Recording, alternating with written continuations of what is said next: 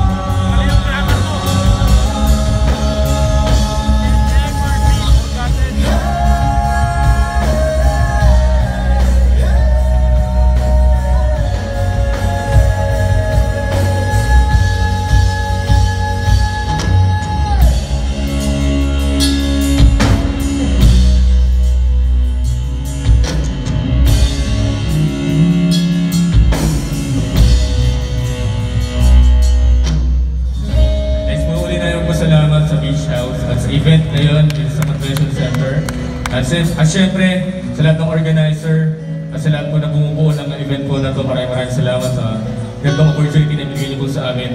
Ska. And uh, syempre, nice din po namin po sa lamatan. Hindi namin makakalimutan ng Agila ng Malolos. Ayan, si Gog. Ayan, salamat po. ah. Kaya, Gog Christian. Thank you so much. Sabay-sabay po natin muling palakpakan, Iska! Thank you. ah. Tayo tapos.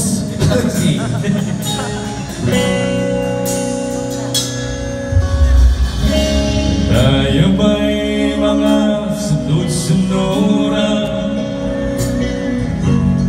Sa tanda ng